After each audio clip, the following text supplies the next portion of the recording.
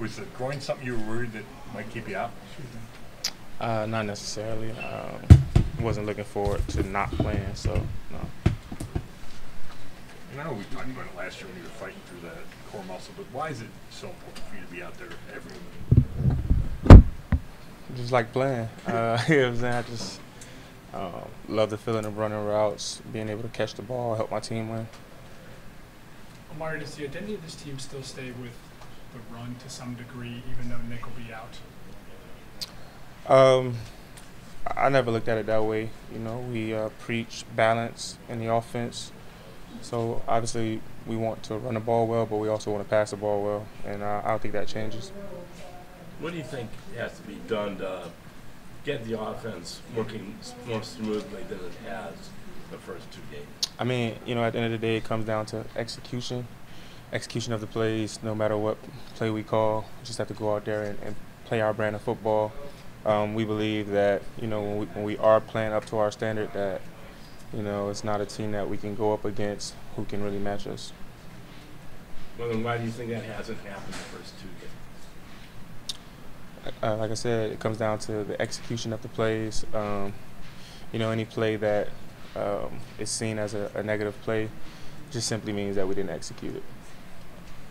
You lose a guy like Nick, do you feel like that adds more the pressure or responsibility to everyone else to kind of pick up the slack that you, you're missing? Of course, you know, like I said before, you know, I view Nick as our best player. You know, so you know, obviously things change. Um, we definitely have to pick up the slack.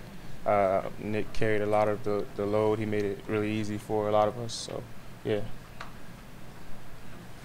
What, what gives you the confidence? I mean, we see Deshaun practice every day and look really good in practice, and you guys had a nice summer. Uh, what gives you the confidence that you know he's going to pick his game up and this is going to look better? Yeah, I mean, well, we all need to pick our game up. You know, uh, from my standpoint at wide receiver, I just view it like, you know, the, the more open I can get, the easier to be for Deshaun. You know, um, I like to put the pressure on myself that way.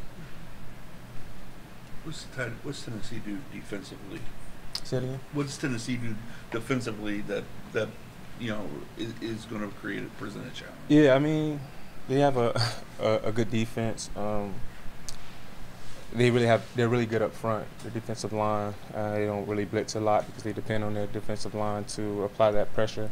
Uh, we just have to stay on time uh, in the passing game, and we'll be all right.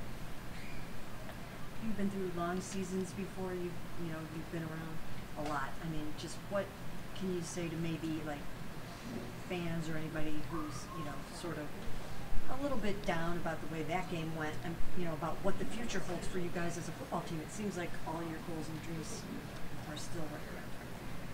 Yeah, I mean it's all about perspective, really. Um, at the end of the day, we're one and one. Um, what's funny is if we would have lost the first game and won this game, we would have still been one and one, and the perspective would have been totally different. You know, everybody would have been much more cheerful, I would say. So it's just all about perspective. How do you feel about coming back to Cleveland Brown Stadium? Uh, you know, it felt so good for you guys to you know get the crowd all fired up, and here you are back on the lakefront. Actually, for your next three games, I think it is. Um, so, what's that like to come back and be able to try to do this again Yeah. for your fans? Uh, it's it's always seems like it's much more pleasant to play at home. It's just more comfortable, I would say. Uh, the crowd is actually for you instead of against you. So, from that standpoint, um, it's just much more comfortable. Easier, it's easier to play that way, I would say.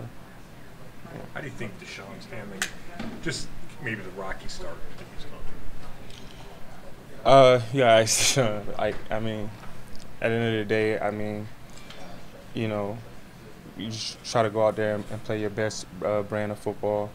Um, like I said before, uh, I'm just more so concerned about making it easier for, for Deshaun. Uh, so, and every time we text and communicate, that, that's what I tell him. So as long as I do my job and we, we do our job um, as receivers, running backs, whatever pass catchers, it'll be much more easier for him. Amari, you mentioned.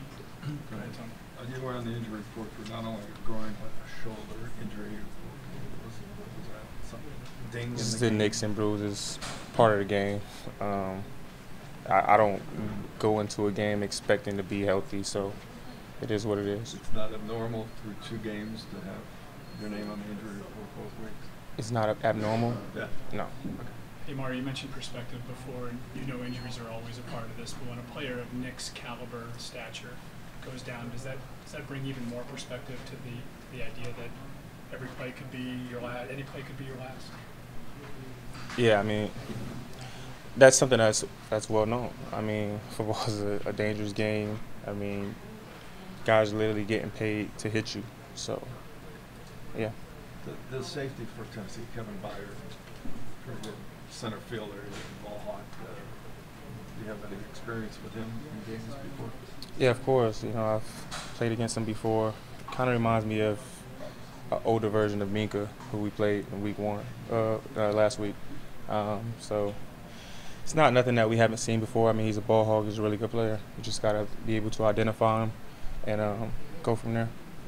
Amar, you've noted how, you know, sort of tragic it was to lose Nick. Um, but what I remember of Kareem over the last four years watching him, making Nick laugh on the sidelines, bringing energy, you know, to, to practices and different things like that.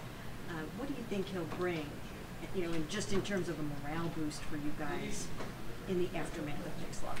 Yeah, I mean, if, if think about Kareem, he's a very uh, energetic player.